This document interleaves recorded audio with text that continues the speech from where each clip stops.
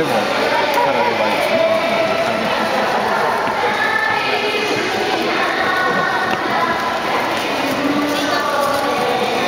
エルドレッド見たの広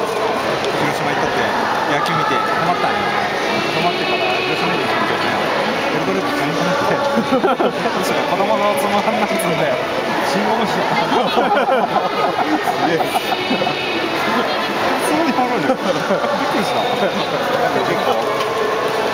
きな広島で好きなみたいなあれなああいやな色でも今年結構活躍してる普段もう大きいこれがあるんだけど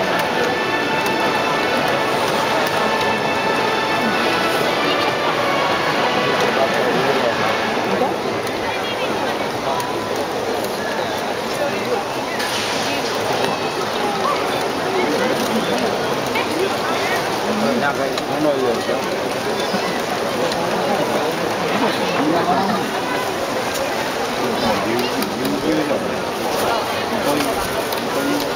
こんなチーム複数